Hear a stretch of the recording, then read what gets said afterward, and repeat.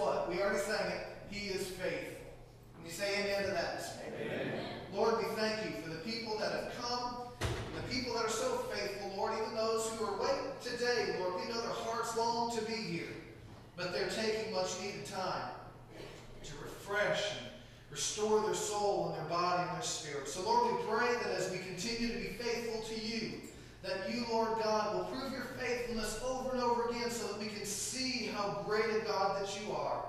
So, Lord, we commit ourselves, our tithes, and our offering to you in trust and love because of the way that you love us. So we pray that you'll take it, use it for the ministry of your kingdom in Jesus' name. Amen. Amen.